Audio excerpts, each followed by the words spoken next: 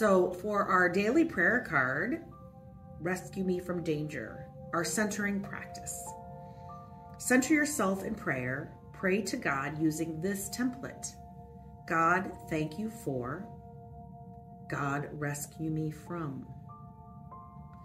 Here's a question for us to ponder today Who in our world needs rescuing right now?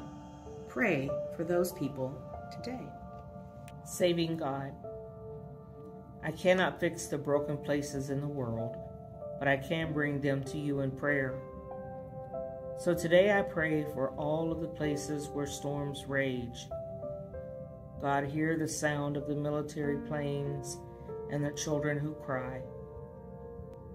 Hear the hurtful words uttered in heated moments and the grief stricken funeral eulogies.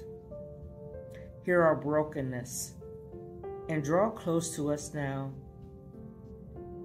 And as you do, we will keep our eyes on the horizon, looking for you in the midst of waves.